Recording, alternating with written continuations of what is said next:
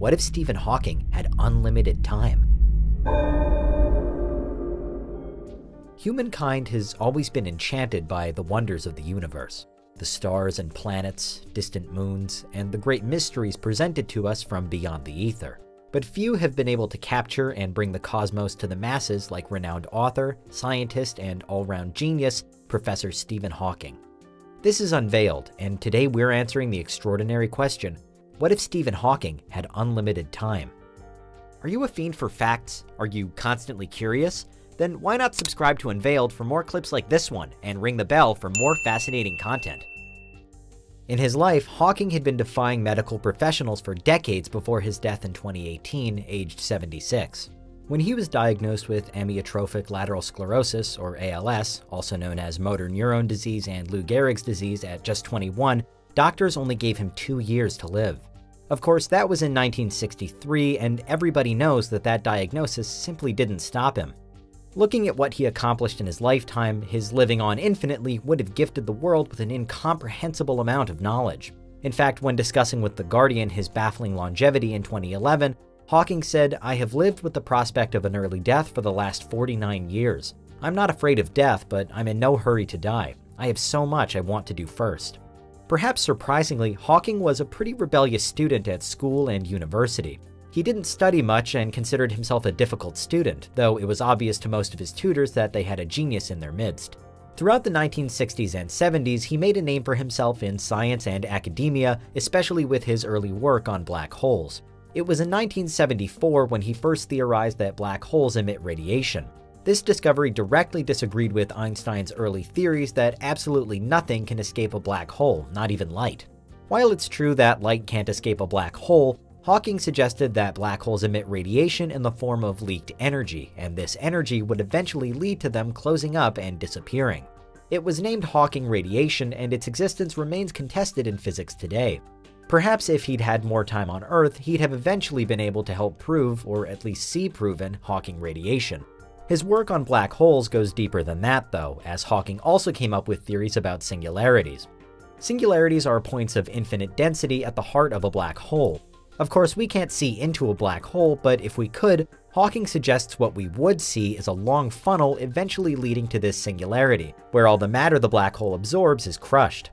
He even said himself that he hoped he'd be remembered most for his seminal work on black holes, so it would have certainly been something to see him continue to unravel the universe's biggest mystery.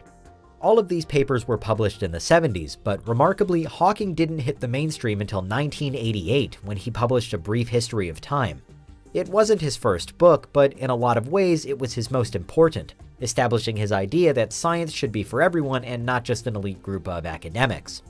Hawking wanted a book on the inner workings of our universe which catered to everybody, and wasn't full of convoluted jargon and ideas you'd need a degree in theoretical physics to understand. This is why A Brief History of Time became a worldwide hit, staying on the Sunday Times bestseller list for five years.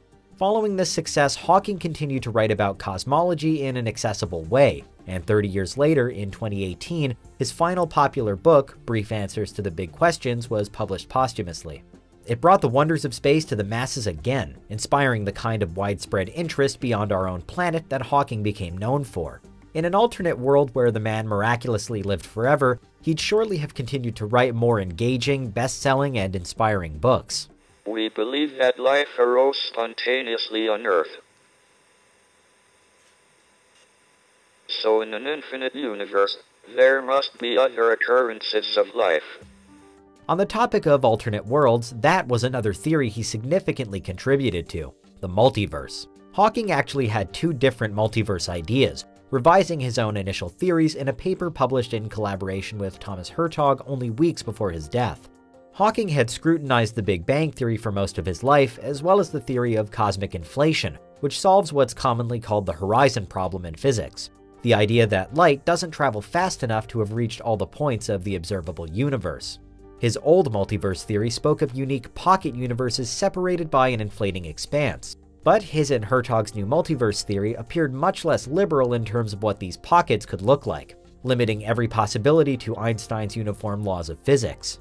A radically new theory formed so close to the time of his passing With unlimited time, Hawking could have developed it further and ultimately, someday, given us definitive evidence of the multiverse. It wasn't just space that Hawking sought to conquer, though. It was also time. Back in 1983, he and James Hartle suggested that, were time travel possible, we'd never be able to go as far back as to witness the actual dawning of the universe. The pair said that we could never see the beginning of time because at the beginning of everything, there was only space and no time at all. In fact, for Hawking, the entire concept of the beginning of the universe is meaningless. While going back to the very start of existence is impossible, Hawking did believe that time travel might not be entirely science fiction. He mused that traveling back in time could be possible and famously once held a party for time travelers, in which the invitations weren't sent out until after the party was over. Unfortunately, nobody showed up, but that could have been because any genuine time traveler would have certainly blown their cover if they'd attended a party specifically for time travelers, held by one of the most famous people on the planet. Or maybe people in the future are just plain rude. Regardless, Hawking believed in time travel to an extent because of M-theory, which was a topic in one of his other books, The Grand Design. M-theory says that there might actually be 11 hidden dimensions in the universe, as opposed to the 4 dimensions we generally believe in. The idea is that by somehow utilizing these dimensions, traveling back in time might be possible. There's no doubt that Hawking is best remembered for his contributions to science and theories on the universe, but he didn't spend all of his time looking at the stars. He was also a tireless campaigner on a number of issues. Given another opportunity, he'd have continued to raise awareness for people with all kinds of disabilities, not just ALS, aiming to make the world a more knowledgeable and inclusive place for disabled individuals. He was also a vocal commentator on climate change and the danger it poses, continually listing global warming as one of the major threats against humanity. His environmental activism even led him to theorize that mankind would ultimately destroy itself by the year 2600, after it uses so much energy that the Earth turns into a ball of fire. This belief wasn't all doom and gloom, as he did think that humans could be saved via interplanetary expansion, moving out into space and beyond and colonizing other worlds. Clearly, Hawking could have continued to provide insight and advice, as well as dire warnings, about the environmental impact of climate change had he been given more time.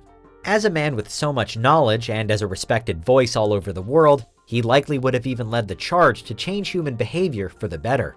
Hawking's achievements and contributions to science and culture were widely recognized during his lifetime as well as now after his death. His early discovery of Hawking radiation led to him being elected into the Royal Society of London as one of their youngest ever fellows in 1974. Elizabeth II awarded him a CBE in 1982, before the release of A Brief History of Time. Though nearly a decade after its publication, he reportedly turned down a knighthood in protest over the British government's poor science funding. Elsewhere, he even received the Presidential Medal of Freedom from Barack Obama, among many dozens more accolades. Were Hawking still with us, he'd have surely gone on to be even more decorated, continuing as one of the most honored individuals in world history, and perhaps even collecting that knighthood if the British government finally made STEM education more of a priority. Ultimately, this great genius had no fear of dying and already lived for five decades longer than the best doctors thought he would do, for which the world will always be grateful. I didn't do my scientific work in the hope of winning prizes and medals. I did it because I wanted to understand the universe. His thoughts, theories, and papers continue to provide a basis for centuries more scientific progress. And that's what would happen if Stephen Hawking had unlimited time. What do you think? Is there anything we missed? Let us know in the comments, check out these other clips from Unveiled, and make sure you subscribe and ring the bell for our latest content.